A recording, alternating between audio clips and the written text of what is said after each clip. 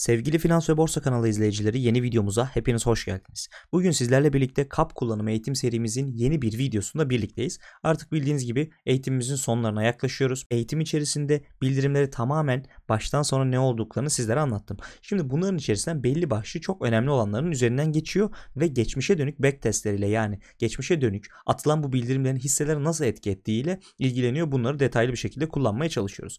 Bugün anlatacağım sizlere 3 bildirim şirketlerimizde doğru ve sağlıklı, bilinçli yatırım yapmak için mutlaka ara ara haftada bir olabilir, ayda bir olabilir, 15 günde bir olabilir takip etmemiz gereken 3 önemli bildirimdir. Yani bunlar şirketleri uçuracak veya batıracak bildirimler değil ama bilinçli bir yatırım, sağlıklı bir yatırım yapmak istiyorsak, portföylerimizi yönetirken bu konuda bilgi sahibi olarak yönetmek istiyorsak mutlaka takip etmemiz gereken, atlamadan, kaçırmadan takip etmemiz gereken önemli 3 bildirimi sizlere gösteriyor olacağım. Kanala abone olmayı ve beğeni butonuna basmayı lütfen unutmayın. Destekleriniz özellikle eğitim serilerinde çok çok önemlidir. Hemen videoya geçelim.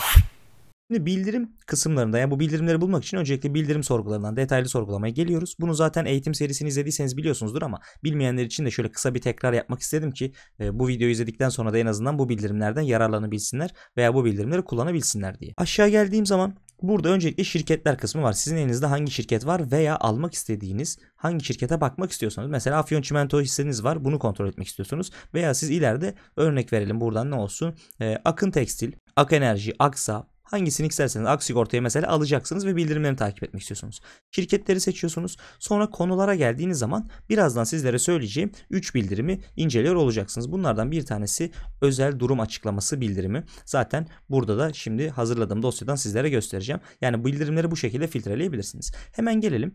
Özel durum açıklaması aslında çok önemli bir bildirimdir. Çünkü içerisinde birçok farklı şey bulundurabilir. Bir önceki videoda hatırlarsanız hisseleri tavan tavan götürecek bildirimler bile bazen oluyor ki özel durum açıklamaları olarak verilebiliyor. Yani sizler tavan tavan götürecek olan pazar endeks değişikliği bildirimlerini bile daha öncesinde özel durum açıklaması olarak bulabiliyorsunuz. Bu yüzden çok önemli ve mutlaka kontrol edilmesi gerekiyor. Ben burada tüm bildirimleri seçmiş oldum. Yani tüm şirketler için tüm özel durum açıklamalarını siz hangi şirketleri inceliyorsanız onları seçebilirsiniz sadece. Bakın mesela şöyle kabaca bir özet bilgi kısmını sadece okuyacağım ki çok fazla zaman kaybetmeyelim. İçlerine girip incelemek sizin elinizdedir. Zaten bastığınız zaman doğrudan sayfa açılıyor ve Türkçe bir şekilde doğrudan anlattığını görebiliyorsunuz. Mesela burada özel durum açıklamaları içerisinde neler var? Yönetim kurulu üyesi istifası ve genel kurula onay sunulacak. Yönetim kurulu yeni üyesini gösteriyorlar burada. Bununla ilgili bir bildirim var. Mesela Türksel tarafında bir Eurobond alım bildirimi var. Gaziantep Entegre Sağlık Kampüsü projesine ilişkin sözleşme görüşmelerinin iptal edilmesiyle ilgili Orge Enerji'de bir bildirim var. Şöyle mesela Türksel'e girdim. Eurobond'un zaten ne olduğunu biliyorsunuz. Yabancı cinsten borçlanma aracı. Bakın ne diyor burada? 95.80 ABD doları fiyattan 1,5 milyon dolarlık bir alım gerçekleşti. Bir Eurobond alımı gerçekleştiğini burada Türksel için söylemiş oluyor. Bu da nedir bizim için? Geleceğini hedge etme konusunda iyi bir noktada olduğunu ve Türksel'in yatırımlarını, paralarını nereye bağladığı gibi birçok noktayı öğrenmemizi sağlıyor. Burada aşağı doğru indiğimizde mesela görev atanma hakkında bir bildirim olduğunu görüyoruz. Bağlı ortaklıklarla ilgili, bağlı ortaklığın halka arzı ile ilgili bir bildirim olduğunu görüyoruz. Yine yönetim kurulu üye değişikliği olduğunu görüyoruz. İştirak edinimi hakkında çok önemlidir. İştirak edinimi hakkında bir özel durum açıklaması yine olduğunu görüyoruz. Burada mesela girişim yatırımından çıkış hakkında bir özel durum açıklaması görüyoruz ki bunlar da çok önemlidir. Çünkü adı girişim sermaye ortaklığı bu girişimlerden çıktığını belirtiyor. Mesela nedir?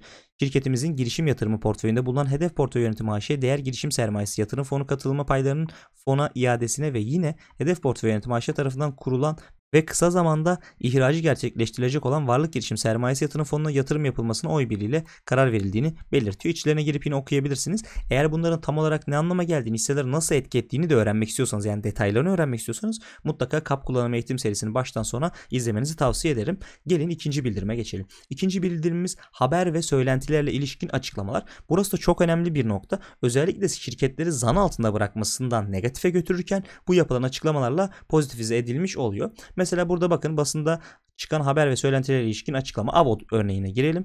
Burada ne görüyoruz? Borsagündem.com internet yayın organında şirket ortağımız ve şirketimiz aleyhinde verilen tarihte yapılan habere ilişkin işte burada bir e, Menemen Cumhuriyet Başsavcısına suç duyurusunda bulunduğunu burada gelen haberin artık içeriğini siz kendiniz inceleyebilirsiniz. Asılsız olduğunu veya yalan olduğunu söylemiş oluyor. İşte burada mesela bakalım Dobur tarafında bir açıklama var. Burada bu açıklama sermaye piyasası kurunca diyor çeşitli haber sitelerinde şirketimizin vergi dairesine sunduğu tablolarda 25 bin TL olduğuna ilişkin gerçeği yansıtmayan haberler paylaşılmıştır diyor. Bu ne demek? 2021 yılı net karı 25 milyon olarak basın organlarına sunulmuş ama bu yalandır, gerçeği yansıtmıyordur diyor.